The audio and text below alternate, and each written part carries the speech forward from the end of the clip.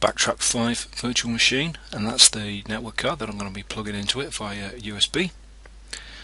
I'm plugging it into the host machine now and I'm going to present that wireless card to my virtual machine. Now I'm using this one because I don't need to mess about change the drivers it'll just work straight out of the box.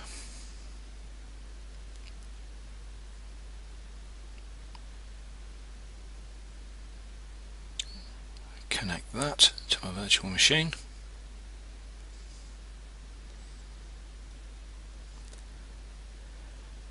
and click OK.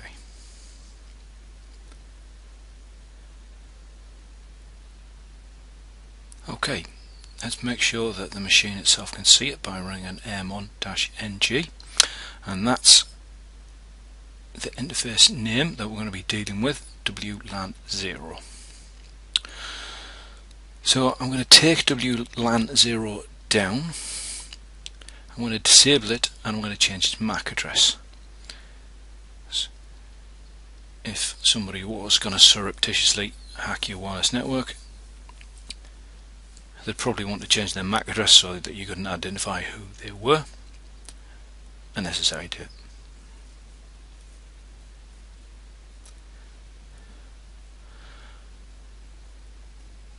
Simply changing the MAC address to 001122334455. Now to actually scan the wireless networks that this machine can see, the command is aerodump ng WLAN 0.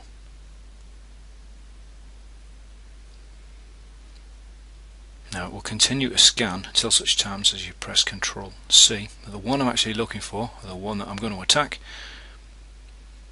is the one that's simply called PeteNet Live. Just to stop scanning networks, press Control C.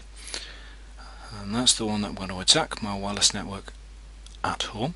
There's two pertinent pieces of information that I need. I need the BSSID and I also need the channel that that wireless access point is on. So that's the command that I'm going to execute to actually scan that wireless network. It's error dump dash ng space minus C, then the channel number, which you'll remember is on channel 1, minus W, then a file name. I'm simply going to use PeteNet Live because it's the SSID of that network, but that's that's the file that it will create.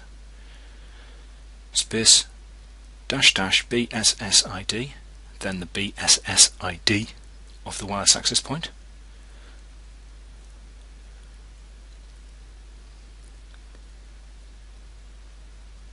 And the interface that I want to use is WLAN0 and that will sit and sniff data packets off that network access point. So now I'm going to associate my client with that access point. And the plan to do that is airplay-ng minus 1 space 0 space minus A. Then the BSS ID of the access point that I'm attacking. Space minus H. Then my MAC address.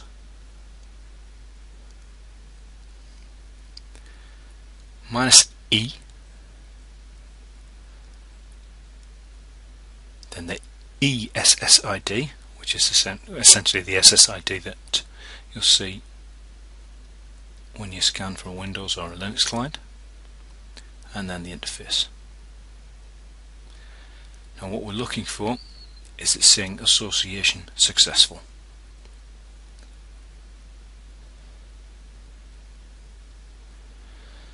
Now I want to throw some traffic across that link. I generate some traffic airplay-ng minus 3 which is a client attack. Space minus b then the BSS ID space minus h. Then my MAC address again.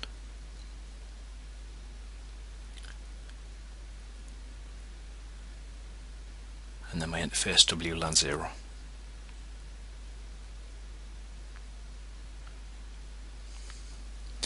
Now while all this is going on, if you look on the other screen under the data column, what we should see is that number slowly getting larger.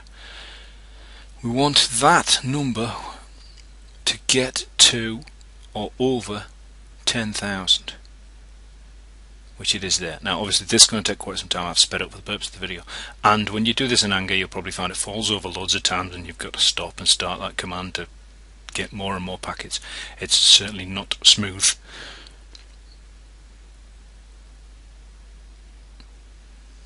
Now that I have that many packets, what it's done is it's dumped all that information in my home folder in a file that there's called PeteNetLive-01 cap.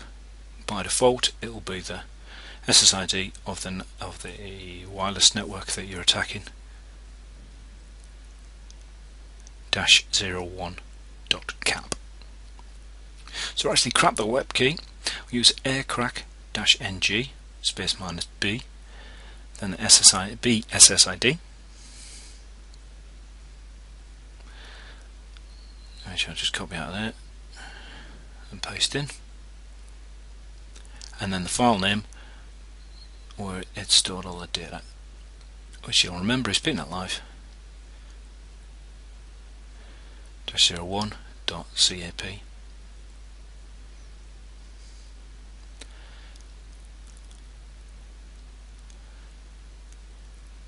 And what that'll do is that'll run through that file, analyze all those packets, and try and tell me what the web key is. Now I've sped this up a little, but it only takes a few minutes. And there you can see that it's found the key and what you need to do with that is simply take the colons out and you will see that that is the web key of my wireless access point.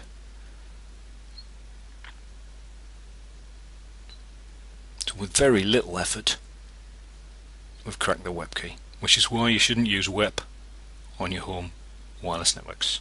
Thank you very much, thanks for watching. Don't forget to come and visit us at www.petenetlive.com.